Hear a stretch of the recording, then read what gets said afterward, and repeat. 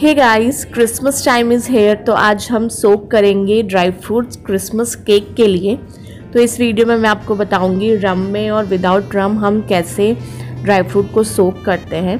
तो यहाँ मैंने लिया है रम और ऑरेंज जूस और उसके अलावा जो भी आपकी चॉइस के ड्राई फ्रूट्स हैं मेनली मैंने यहाँ पे बेरीज़ एप्रीकोट्स एंड डेट्स लिए हैं।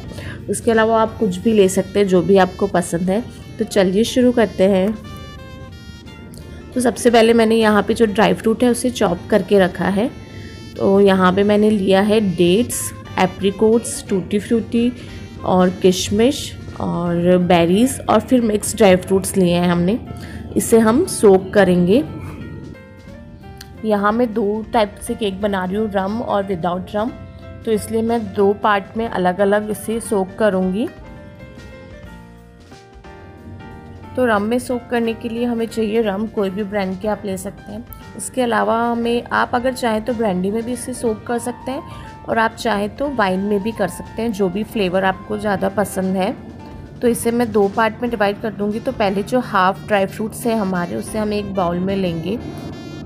और सबसे पहले मैं ऑरेंज जूस है, उसमें इसे सोक कर रही हूँ। तो यहाँ पे मैंने सारी टूटी फ्रूटीज़ एप्रीकोट्स ले लिए हैं। आप चाहे तो ड्राइड जो कीवी आती है, वो भी ले सकते हैं। उसका फ्लेवर भी बहुत अच्छा आता है। मेनली बेरीज़ और रेजिन्स का फ्लेवर भी इसमें अच्छा आता है। तो यहाँ पे मैंने आधे अपने ड्राई फ्रूट्स ले लिए हैं। ये 250 ग्राम्स का मेज़रमेंट है 250 ग्राम्स केक का। उसके बाद में मैं इसमें अब ऐड कर रही हूँ ऑरेंज जूस ये ड्राई फ्रूट अच्छे से इसमें सोख हो जाए, इतना ऑरेंज जूस हमें इसमें ऐड करना है। और फिर हम इसे अच्छे से मिक्स कर लेंगे।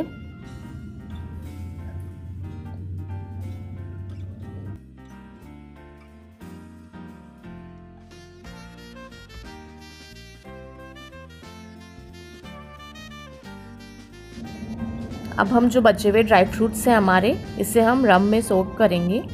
तो मैंने ये इसे बाउल में ले लिया है।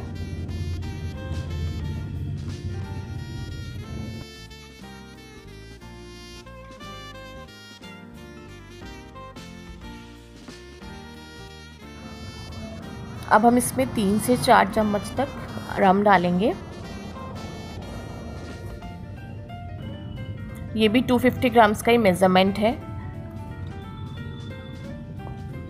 अब हम इसे अच्छे से मिक्स कर लेंगे और इसमें दो से तीन चम्मच हम ऑरेंज जूस ऐड कर लेंगे और फिर इसे अच्छे से मिलाएँगे। ट्रेडिशनली दो वीक के लिए हमें रम में इसे सोप करके रखना होता है। और अगर आप क्विक बना रहे हैं तो आप ऑरेंज जूस को गर्म करके उसमें ड्राई फ्रूट ऐड कर सकते हैं और दो तीन मिनट तक उसको उसमें बॉईल करेंगे, फिर उससे केक में ऐड कर सकते हैं ठंडा होने के बाद। अब हम इसमें ऑरेंज जस्ट ऐड करेंगे और फिर अगर आपके पास ड्राई जिंजर नहीं है, जो हम केक में यूज़ करने वाले हैं तो फिर इसमें आप आधा चम्मच अदरक का रस इसमें अभी से ऐड कर देंगे। तो मेरे यहाँ पे पास ड्राई जिंजर है, जो मैं केक में बाद में यूज़ करने वाली हूँ तो मैं यहाँ पे अदरक जूस ऐड नहीं कर रही हूँ। तो ये हमारा सोप करने के लिए रेडी है। मैं 24 फोर आवर्स के लिए इसे सोप करूँगी। और फिर नेक्स्ट वीडियो में मैं शेयर करूँगी कि क्रिसमस केक कैसे बनाना है। So thanks for watching don't forgot to subscribe and like the video bye bye